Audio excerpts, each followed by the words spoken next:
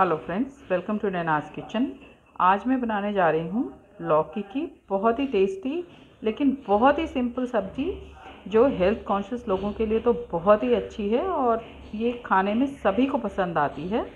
तो चलिए हम बनाते हैं लौकी की ये बहुत ही टेस्टी सब्ज़ी। लेकिन इससे पहले एक चीज़ मैं बता दूँ। मैं इसको कढ़ाई में बना रही हूँ, लेकिन आप अगर चाहें तो इसको कुकर में भी बना सकते हैं। वो प्रोसेस थोड़ा फास्ट हो जाएगा, लेकिन कढ़ाई में बनाने से इसका टेस्ट ज़्यादा अच्छा आता है तो एक बार आप कढ़ाई में बना के ज़रूर ट्राई करें।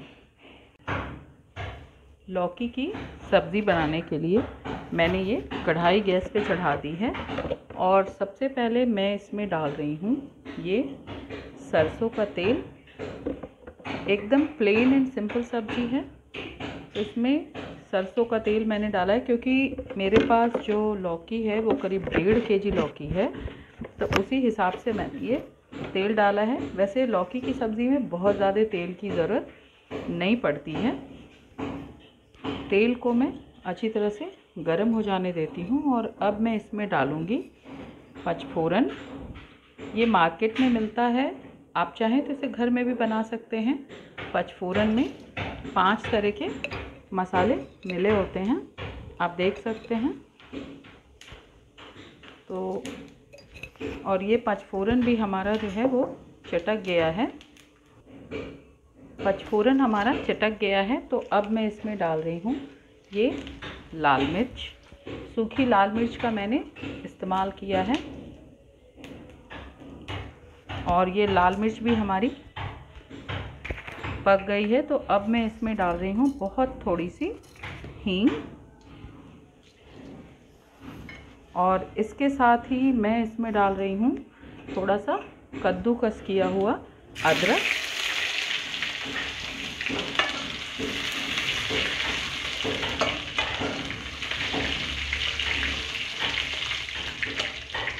और इसी के साथ मैंने दो मीडियम साइज़ के प्याज को काट के रखा है तो इसको भी मैं इसमें डाल दे रही हूँ। आप प्याज खाते हैं तो डालें, नहीं खाते हैं तो ना डालें। और प्याज को थोड़ा सा भून जाने देती हूँ।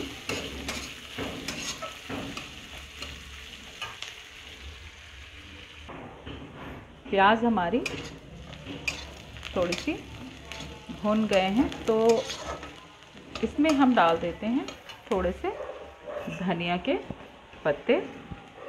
इससे इसका टेस्ट बहुत अच्छा आएगा। बहुत थोड़ा सा हमने धनिया का पत्ता लिया है और इसके साथ ही अब इसको भी हल्का सा भून देती हूँ।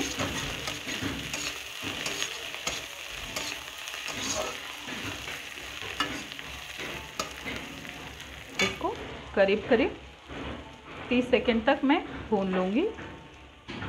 धनिया के पत्ते भी भून गए हैं। तो अब मैं इसमें डाल दे रही हूँ लौकी।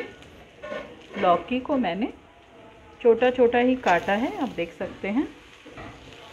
ताकि इसको गलने में कम समय लगे।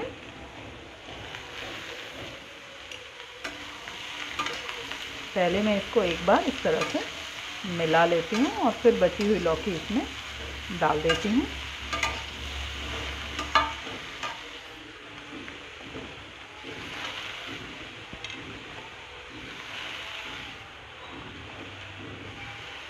और अब मैं इसको ढक के पकाऊँगी, लेकिन उसके पहले मैं इसमें डाल देती हूँ हल्दी और नमक, ताकि ये जल्दी से गल जाए।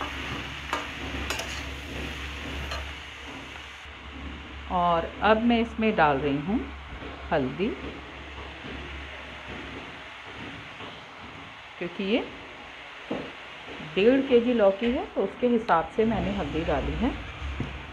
और नमक भी मैं उसी हिसाब से डाल देती हूँ।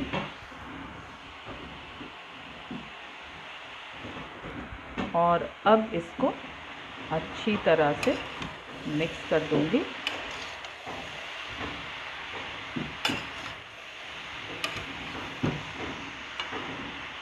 लौकी ने पानी छोड़ना शुरू कर दिया है और ये अपने पानी में ही पक जाएगी। इसके लिए ऊपर से हमको पानी ऐड करने की ज़रूरत नहीं पड़ेगी। शुरुआत में मैं इसको लो फ्लेम पर पकाऊँगी।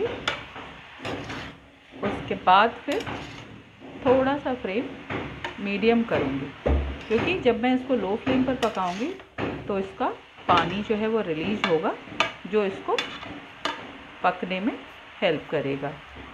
तो फ़िलहाल अब ये मैंने मिक्स कर दिया है और अब मैं इसको एक ढक्कन से ढक देती हूँ।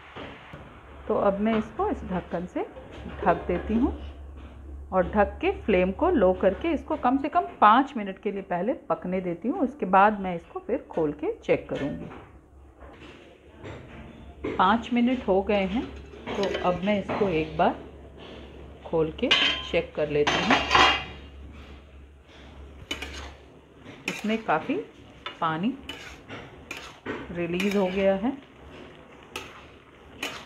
और आप देख सकते हैं, ये काफ़ी गल भी गया है।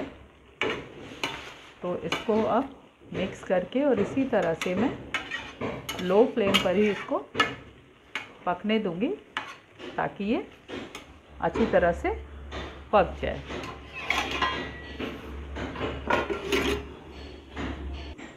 इसको पकते हुए पाँच मिनट और हो गए हैं। तो अब मैं इसको एक बार और चेक कर लेती हूँ।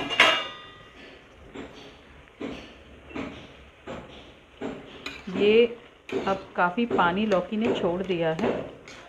तो इसको मैं थोड़ा सा फ्लेम को अब तेज़ करूँगी ताकि पानी भी हमारा साथ साथ जल जाए, क्योंकि थोड़ा अभी इसमें ज़्यादा पानी है। तो इसको मैं दोबारा से ढक देती हूँ। इसको मैं एक बार फिर से मिक्स कर देती हूँ। अब इसका पानी भी काफ़ी सूख गया है। अब इसको ढकूँगी नहीं, इसी तरह से खोल के और थोड़ा सा इसका पानी और मैं जल जाने देती हूँ। तो अब इसको इसी तरह से खोल के पकाऊँगी।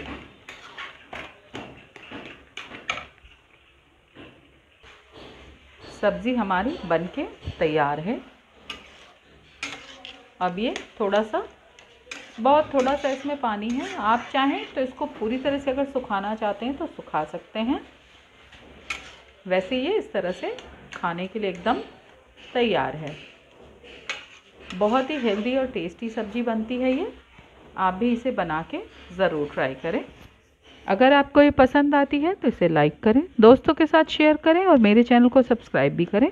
फिर मिलती हूँ एक नई रेसिपी के साथ। बाय